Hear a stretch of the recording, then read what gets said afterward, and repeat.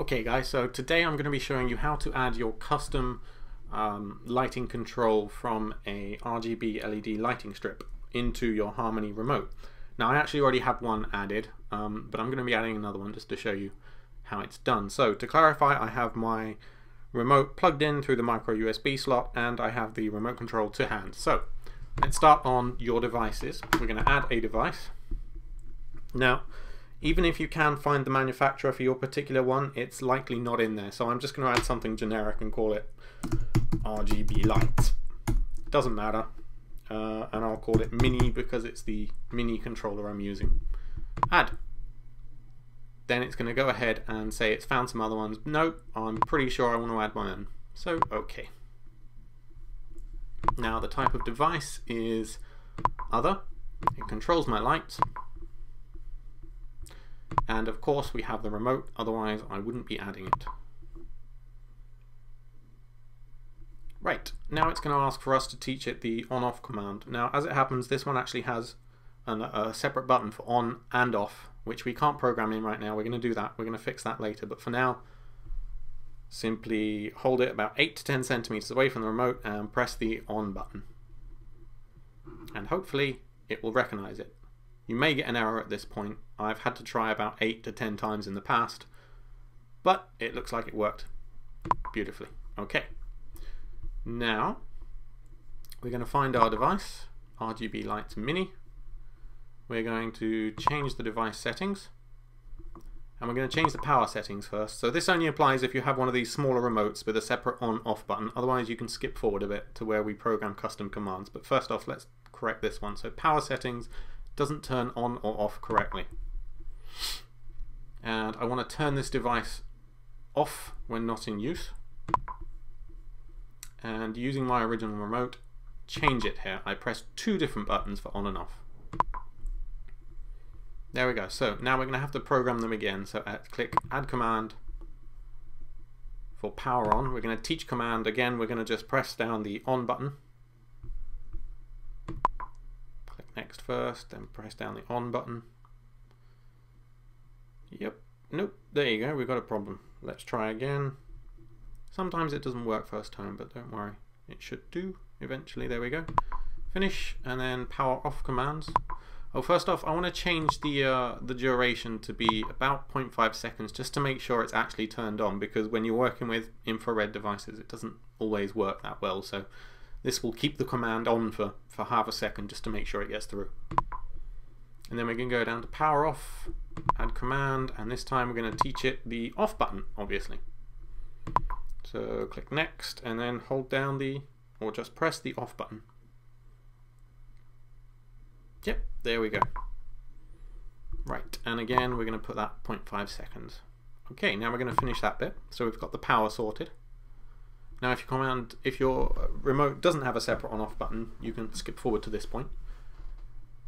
And the next thing we're going to do is to add or fix commands. So now we want to add the commands for various colors.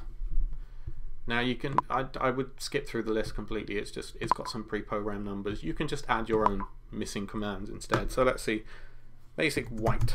Let's go for the white command first. So next you're going to find the white command on your remote and you're going to teach it. Very simple. There we go. Now I'm just going to do a few. The, the controller actually has like 20 different colors that you can put, but obviously I don't want to go through all of those. I'd suggest you just put the ones you like best. And we're going to have a pink. Let's program that. Come on.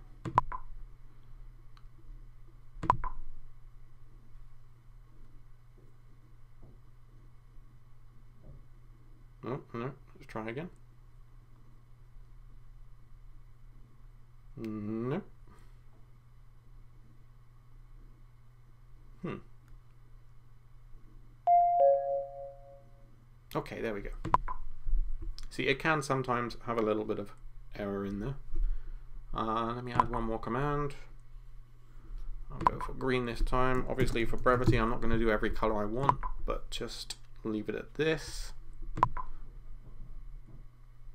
press the green button.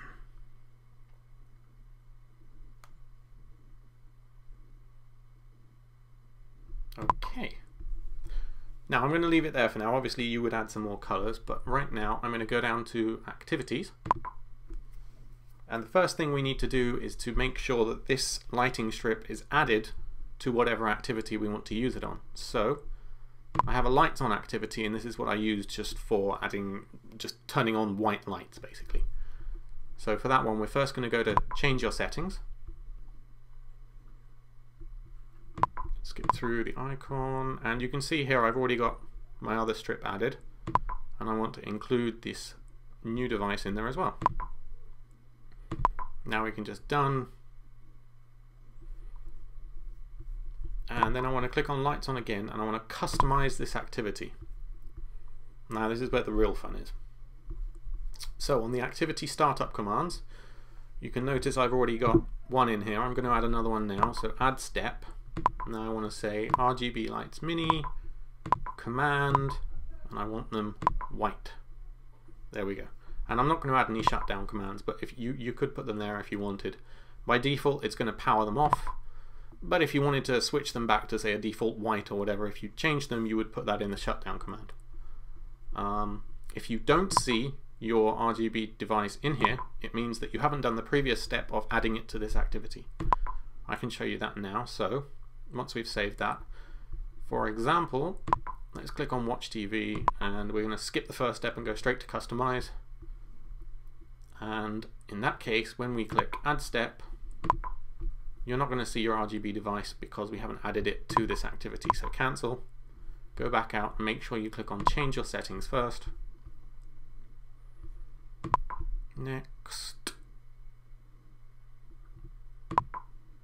And again, we want to include the RGB lights mini in this activity. So that just makes sure that it's going to turn on and you'll have to just click through next, next, next to get through all the default settings, how you had them set up before blah, blah, blah. There we go. And then once you've done that, click on the activity again and go to customize.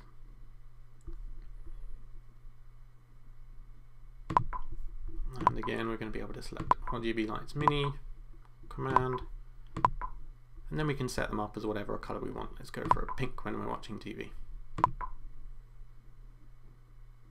And there we go final thing to do, of course, is, is finish up all your activities and then finally make sure you sync with your remote and it should be all working. And if you want to see an example of it all working, you should be able to, I should have the video in the first part of this article.